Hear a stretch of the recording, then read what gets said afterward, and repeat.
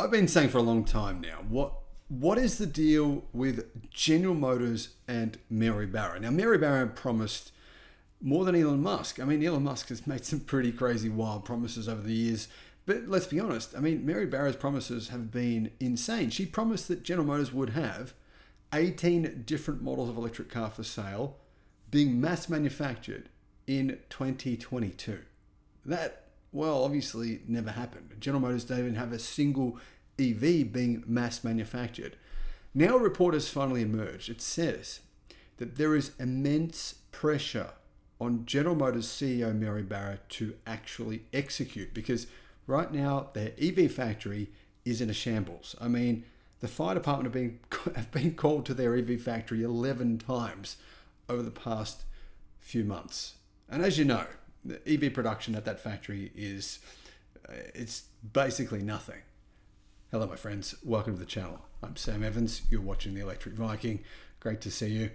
Less than four weeks ago, General Motors CEO Mary Barra confidently told investors, as she has many times, um, that 2024 is a year of execution as the automaker hits reset on production of its newest electric vehicles, relaunches its troubled self driving subsidiary Cruise, and fixes new vehicle software glitches that resulted in pausing sales of yeah of its most important vehicle, the Chevy Blazer EV. Now, technically, Chevy are also manufacturing the Silverado EV, which is a great pickup truck, but um, in numbers that are so minuscule, the media is not even talking about it. However, in one afternoon, the pressure on Mary Barra to deliver on all of that has escalated by a factor of 10, said analysts on Wednesday. I've been saying for a long time, how is Mary Barra getting away with this? She's one of the highest paid CEOs in the world, and it's like performance just, is just irrelevant. I mean, it's crazy because this is a scenario we're really seeing a Kodak situation happening. We're seeing a company here that only a few percent of its production worldwide are actually electric cars. I mean, Joe Biden is saying, You did it, Mary, you did it, you've electrified the world, you've actually gotten everyone to make EVs, when it's just nonsensical because General Motors only make a minuscule number of electric cars at the moment. Anyway, last Tuesday, General Motors announced it was losing its long-time head of manufacturing, Gerald Johnson, and its newly hired head of software and services, Mike Abbott. Johnson is retiring. Abbott had to step down due to health issues, but um, some people are saying they believe that uh, he was forced out because GM software uh, is it's not going very well. It's not going how it was planned to be going. Both losses could signal a blow to the automaker because General Motors has struggled to manufacture its new EVs and it's had software glitches. Now, the same problem has um, arisen for companies like the Volkswagen Group. And the Volkswagen Group have pivoted, as has Stellantis recently, by manufacturing more of their vehicles in China. Uh, basically, getting Chinese automakers to manufacture them for them. Basically, like a kind of like the situation of Magna Steyr in Austria, uh, contract manufacturing under the guise of a joint venture partnership. Wall Street appeared to be accepting of the Johnson and Abbott departures as GM's stock price was up all day. Wednesday, and it closed up 2.65%. Still, the leadership changes in light of GM's incredible problems with EV launches is having, and also having to halt Cruise. There's been a huge amount of um, problems for GM with their Cruise self-driving division when it turned out that actually it wasn't doing what Cruise were telling everyone uh, that actually human drivers uh, human drivers weren't in the cars, but they were literally having to intervene every couple of miles. Now General Motors was pretending that its Cruise automotive division had vehicles that were just fully self-driving. They were just driving themselves around. They were amazing. But actually, the truth is that humans were, were auditing these vehicles constantly, 24 hours a day, and they were having to intervene every couple of miles. This is not what General Motors told the public, and this is a big issue. In addition, the Chevy Blazer EV, the launch was a complete failure. I mean, reviewers said it was absolutely shocking, one of the worst vehicles they'd ever tested. There was more than 50 problems that were uh, discovered when the within the first 24 hours of them being reviewed. General Motors paused production completely. Um, basically took back all the cars, tried to fix all the problems, and they've only just relaunched the vehicle at a much lower price. In addition to that, some analysts are saying that General Motors will not hit its target to sell 400,000 EVs this year. Um, you know, of course they're not going to. That's just ridiculous that Wall Street would think that was ever going to happen. 400,000 EVs this year. General Motors said that they would outsell Tesla in 2025 with EV production, right? That is just, I've been saying since day one. And I know a lot of the media said this would happen because it's General Motors. But come on, we all knew that that was the most ridiculous claim. She went on, Mary Barra went on Oprah, on, on Oprah and said, and, and I believe um, uh, Oprah and, and other big talk shows, and the hosts were like, Are you, are you serious? Are really going to do this in 2025? Mary Barra's like, Yeah, we will. We'll outsell Tesla. Come on. That was just a straight up lie, really. So basically, now investors are saying Barra is, is not producing. It's talk. It's all talk. It's all talk to try and do what? Spike GM's stock price, right? It's one thing to declare 2024 the year of execution. Let's see if they can actually do it, said Sam Abuelsamid, Principal Analyst for Transportation and Mobility at Guidehouse Insights in Detroit. If at the end of this year they are able to manufacture and deliver EVs on a consistent basis and not have major software problems on every launch, then okay. But based on what we've seen in the last three years, not just the EVs, but on automated driving and other areas, it's time to show us and do rather than just talk about it. The need to execute well is a top priority, said David Whiston, auto analyst at Morningstar. But he said, there's more pressure to do it right now because of recent setbacks. That's an understatement, setbacks, uh, like delays at Ultium Cells, GM's battery cell joint venture, and the Blazer EV software mishap. Now, it wasn't just a software mishap. I mean, holy smokes.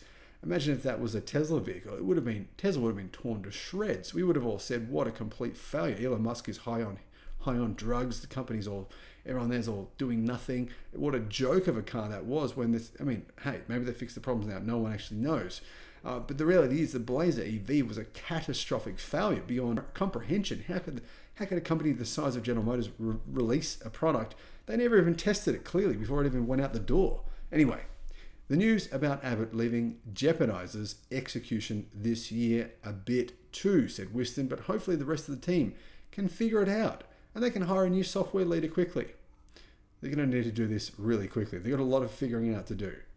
Dan Ives, Managing Director and Senior Equity Research Analyst at Wedbush Securities, told the Detroit Free Press the departures don't concern him as much as GM's other difficulties with EV launches, software glitches, and actual production. He said GM has to execute this year because time is not on their side anymore. There's massive pressure for Mary because it's all been set up for 2024 to be the execution year, the transition to EVs with many models coming out, I've said. There can be no more excuses. Patience is wearing thin among investors.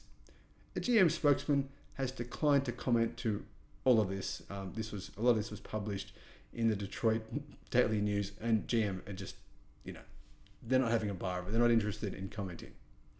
Now, Johnson's departure is understandable, right? But apparently now Mary Barra is turning to Tesla. Why? Well, after navigating a 46 day targeted strike by the United Auto Workers Union last fall and working 44 years at General Motors, Johnson, who is 61, is ready to retire.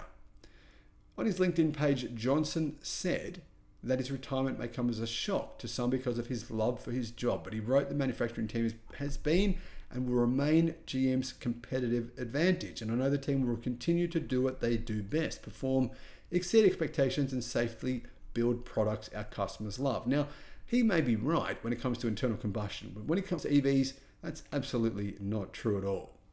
Johnson will stay on board until the end of the year. However, GM have hired uh, someone from Tesla. Now, Jens Peter Clausen is coming from Tesla to try and basically save General Motors' EV hopes. At Tesla, he helped innovate the rapid scaling of EV propulsion systems at Tesla's Gigafactory 1 in Nevada, and apparently played a crucial role in making EVs more accessible. Not even sure what EVs more accessible means. But anyway, if you can bring some sort of magic to General Motors, well, yeah, they're going to need it. big time. Now, analysts are very skeptical about GM's production numbers for this year. They say GM's goal of selling 400,000 EVs at the end of this year is pretty fanciful. So far, GM hasn't sold 20,000 Ultium EVs in total since they launched the Hummer in late 2020, four years ago. They haven't even sold 20,000. Anyway, this analyst went on to say, he said they've absolutely had a lot of issues in their organization, not just in software and manufacturing, but in product planning. I think they've made a lot of mistakes in terms of the types of products they've introduced as part of their EV strategies and how they've designed those products. Now, the biggest problem here, guys, with Ultium EVs, they're too heavy. General Motors has to put big battery packs in them. Big battery packs mean more cost. General Motors doesn't use lithium iron phosphate batteries, so the batteries they do use are expensive. They're expensive to manufacture and they need more of them. General Motors simply is in an impossible situation. I don't see how they can compete, and I honestly think Mary Barra is on the hot seat here. I'm actually shocked that uh, she's still there. Now, think about this the CEO of Berkshire Hathaway, Warren Buffett, the, the greatest investor in history. I don't think there's any doubt about that, right? Berkshire Hathaway owned General Motors stock for the last 12 years. 12 years. Well, they just dumped their stock. Now, Berkshire have not dumped a stock in the last three years that I've seen. They've sold percentages of stocks. They might have sold. They've sold down on their BYD position by about 20%. They usually do a, a trimming here or there. They go a bit higher, a bit lower, but they dumped General Motors stock around three months ago. Every single cent, it's gone. Now, if Berkshire Hathaway, who have been bullish on General Motors for 12 years, are just completely getting out of their position after losing, they've lost hundreds of millions. They've just gone, you know what, no sunk cost bias. Let's get out of this bad position. If they have completely lost faith in the company, then, well, I'm going to guess probably most others have as well. But let me know what you think. Uh, am I being too scathing? Let me know what you think in the comments. Thank you for watching.